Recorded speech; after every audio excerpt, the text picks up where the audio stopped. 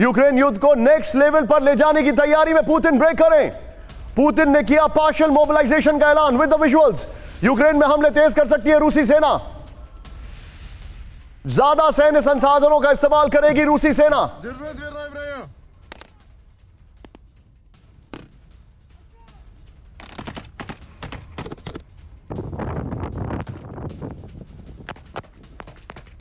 रूसी नागरिक भी सेना के साथ वॉर जोन में भेजे जा सकते हैं। बड़ी खबर सीधा आइए यहाँ पर बिग वॉल पर, और ये गोप्रो ग्राफिक जो मैं आपको दिखा रहा हूँ पार्शल मोबिलाइजेशन इसका मतलब क्या है? जरा ध्यान से देखिए, और इसके साथ ही मैं आशीष के पास चलूँगा। ध्यान से देखें, युद्ध में आम रूसियों का पार्शल मोबिलाइजेशन सात महीने युद्ध के बाद पुतिन ने पार्शियल मोबिलाइजेशन का फैसला किया। पार्शल मोबिलाइजेशन का मतलब है कि एक एज ब्रैकेट के सभी लोगों का सेना में जाना अनिवार्य होगा। यूक्रेन में सैनिकों की संख्या बढ़ाने के लिए रूस का यह बहुत बड़ा फैसला है। ये सत्रह साल से प्रोविज़न स्टोर चला रहे थे और हर दिन आठ से नौ हज़ार का बिज़नेस करते थे। अचानक से ये दोगुना हो गया। जानना चाहते हो कैसे? तो फ्रीडम ऐप को अभी डाउनलोड करें। लाखों लोगों को सेना से जोड़ने की तैयारी का अब विधेयक रूसी संसद में पेश किया जा चुका है। विधेयक से लाखों रूसी लोगों के लिए मिलिट्री सर्विसेज़ अनिवार्य हो जाएँगी।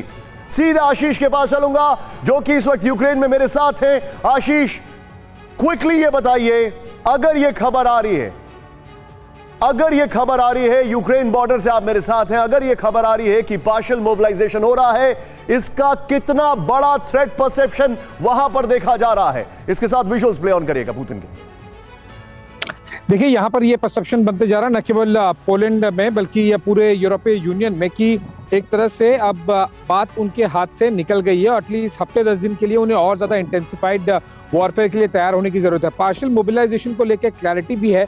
निशांत की ये जो रेफरेंडम करने हैं, तेईस से सत्ताईस के बीच में चार अलग अलग रीजन में, वहाँ पर गन पॉइंट पर वोटिंग हो गन पॉइंट पर एक एक माहौल के बीच में रशिया के फेवर में पूरा का पूरा वोट जाए और उनके फेवर में रेफरेंडम जाए, इसलिए है ना बजाय इसके लिए कि वो किसी पोलैंड, यूक्रेन बॉर्डर पर या फिर यूक्रेन और जो स्पेसिफिक एरियाज़ हैं, जैसे कि डीपीआर है एलपीआर है, इन सभी जगहों पर खेरसोन है, इन सभी जगहों पर मोबिलाइजेशन की आशंकाएँ ज़्यादा है क्योंकि वहीं पर ये रेफरेंडम कर रहे हैं। दो दिन का समय है, तेईस तारीख से रेफरेंडम शुरू हो रहा है और वहाँ पर व्लादिमीर पुतिन को अंदाज़ा है कि यूक्रेनियन फोर्सेस नेटो ईयू की तरफ़ से बहुत ज़्यादा रिटालिएशन और रिएक्शन देखने मिल सकता है। Point taken stay with me Ashish मैं सीधे आऊँगा अनुज सर के पास। अनुज सर आपको इंतज़ार कराने के लिए माफ़ी लेकिन मैं ये सवाल आपसे पूछना चाह रहा था इसीलिए आपको इंतज़ार कराया। ध्यान से देखिए पुतिन ने पार्शल मोबिलाइजेशन का फैसला क्यों किया है? सात दिन का युद्ध सात महीने से ज़्यादा खिंच गया। नंबर वन चेंज करें। रूस में सैनिक रिज़र्व फोर्स की कमी है। नंबर थ्री बड़ा इंपॉर्टेंट है। रूस के कब्जा इलाकों को यूक्रेन वापस ले रहा है। नंबर फोर यूक्रेन को पश्चिमी देशों से मिल रहे हथियार। फिर आखिरी पॉइंट दुनिया में रूसी फौज की गिरती साख। मैं चाहूँगा ये खबर के साथ नीचे ब्रेकिंग और शॉर्ट्स प्ले ऑन करें। सीधे मैं चलूँगा यहाँ पर। मेरे साथ मौजूद हैं आप general Anuj Mathur sir. Anuj sir, क्या आप इन सभी बातों से सहमत हैं?